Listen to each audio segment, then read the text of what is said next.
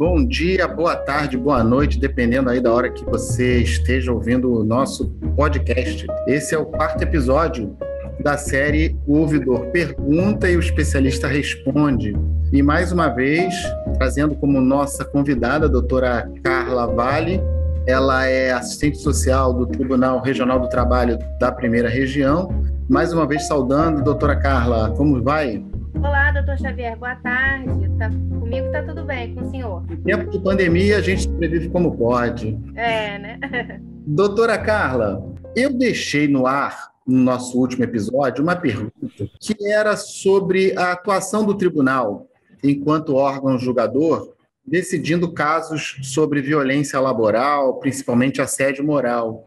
De que forma, doutora Carla, a senhora acha que essa experiência que o tribunal adquire julgando esses processos pode se reverter numa política a ser adotada contra uma prática interna do próprio tribunal.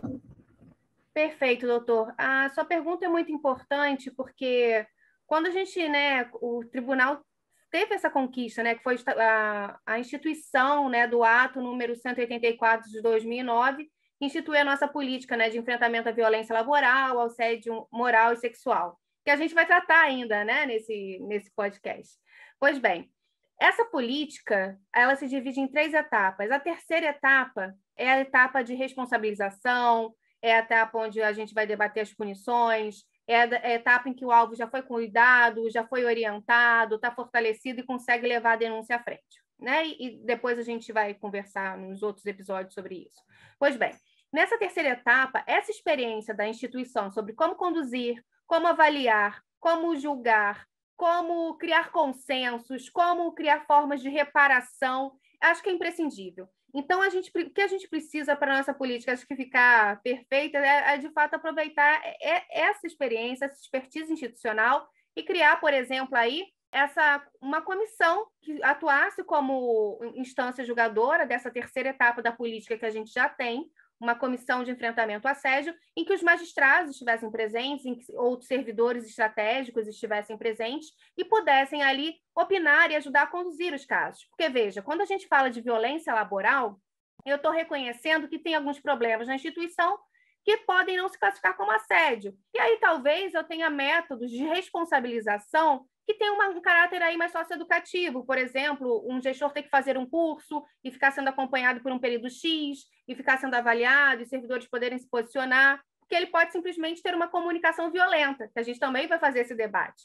Simplesmente no sentido de que, em comparação né, à, à complexidade do assédio. Por outro lado, a gente pode ter indícios e situações de assédio, de fato, em que construir esse espaço em que as pessoas sintam eh, que vai ter efetividade, que vai ter a resolução, seria de grande importância.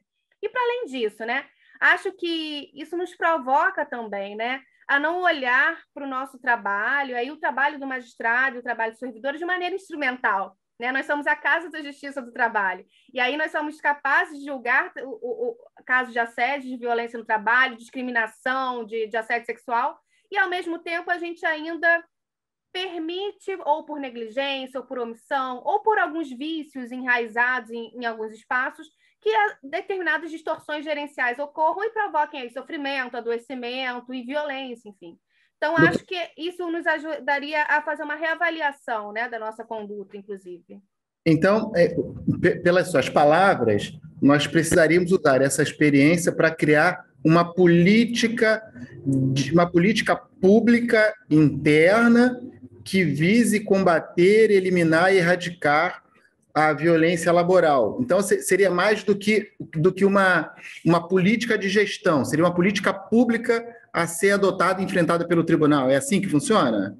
Na verdade, doutora, a política, ela existe, ela está aí. Acho que, na verdade, o que a gente está debatendo é construir meios de dar maior efetividade para essa política que foi pensada, planejada e está expressa nesse, nesse ato 184 de 2009. E, com isso, a gente tira do papel uma proposta que se baseia em princípios éticos, em estudos, e aí sim materializa, como o senhor falou, uma nova cultura organizacional, uma nova cultura institucional, e aí sim uma nova política para a instituição como um todo. Acho que, que é nesse sentido, né? É difícil esse amadurecimento, pelo que eu percebo, né? o amadurecimento no comportamento.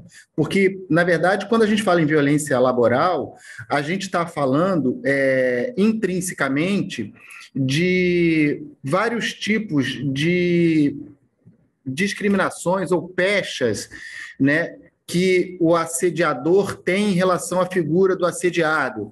Então, por exemplo, a gente tem é, assédio por orientação sexual, assédio por credo religioso, assédio por gênero. Como é que você é, entende essa questão da, da, da gestão da discriminação quando a gente fala em violência laboral? Perfeito, doutor. Alguns autores debatem isso, nessa categoria do que eles chamam de gestão por discriminação são aqueles contextos em que as instituições, os gestores, né, promovem atitudes de respeito e intolerância às diferenças, aí principalmente de gênero, origem étnico-cultural, de biotipo, de questões políticas, é, de orientação sexual, enfim. Então, vejam, quando eu penso em assédio moral, eu estou pensando em dois pontos principais. Formas de preconceito e humilhação. A médica Margarida Barreto, né, a doutora Margarida Barreto, ela fala isso, né?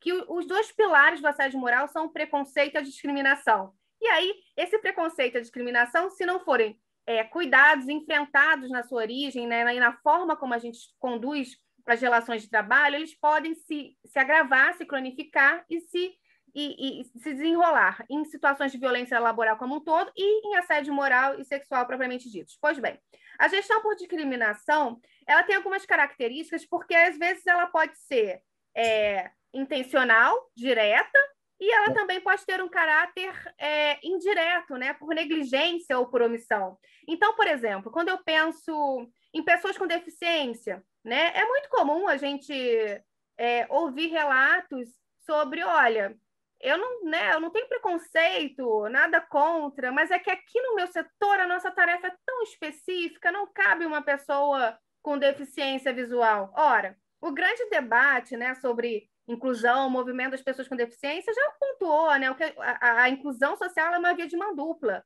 da pessoa com deficiência, mas também da instituição, das organizações sobre a construção da acessibilidade, da, da eliminação de barreiras né, nas ferramentas de trabalho, das barreiras atitudinais, das barreiras programáticas, da mesma maneira, né?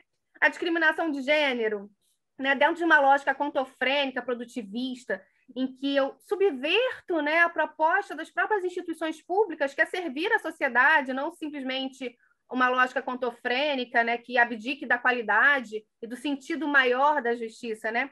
Eu crio situações em que, por exemplo, ah, não, na minha unidade eu não vou aceitar, aceitar mulheres em idade fértil, porque a idade fértil implica em que ela possa tirar uma licença maternidade, isso vai prejudicar nos números. Não tenho nada contra você, não é pessoal, e geralmente não é, né? Mas é, você é, traz, entre aspas, a, a, gravidez, a gravidez é um risco para o setor, veja, né? Então, essa, são essas formas né, da cultura e do senso comum que, que impregnam na gestão com, com a justificativa da produtividade.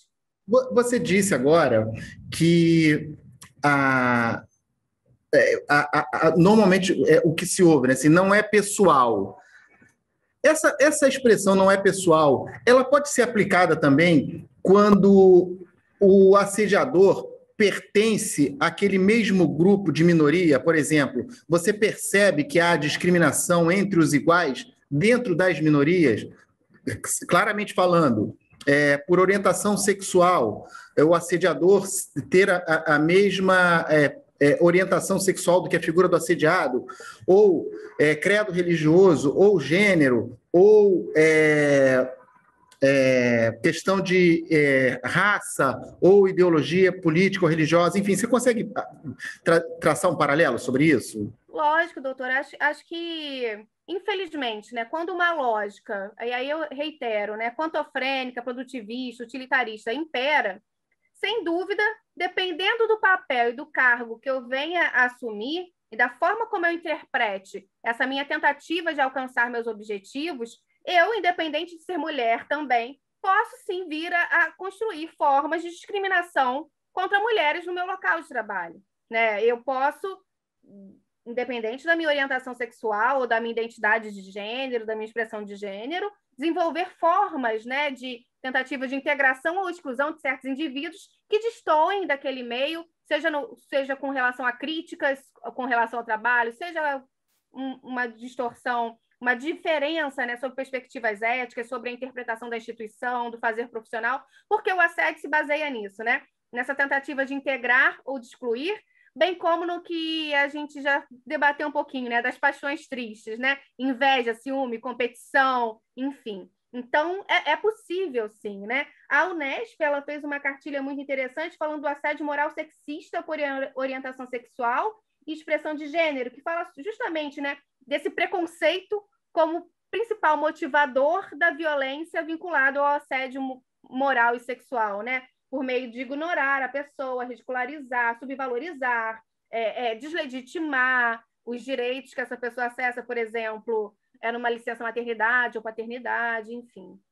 Doutora Carla, é, a gente está caminhando aqui para o final desse nosso podcast e eu queria é, é, colocar aqui uma questão. Você falou nos sentimentos, né? Sentimento que, que envolve a figura do assediador, envolve a pessoa do assediado, e o, o sentimento é uma característica do, do ser humano, né? Evidente. É, você gosta de cinema, Carla? Gosto, gosto sim. Você, é então, você, quando vai no cinema, você consegue se emocionar, por exemplo, quando você assiste um filme é, com, a, com uma certa temática. Eu vou te deixar uma pergunta para você responder só no próximo podcast. Tá certo. Se a violência laboral fosse um gênero de cinema, qual gênero ele seria? Vou deixar para você responder na próxima. Perfeito, vamos lá. Bom, gente, estamos terminando aqui então o nosso quarto episódio da série de podcasts O Ouvidor Pergunta, o especialista responde. Esse que é um projeto pioneiro do TRT da primeira região, parcerias da Ouvidoria, da Escola Judicial e da CESAD, que é a Coordenadoria de Saúde. A gente se encontra no próximo podcast. Um grande abraço, senhores.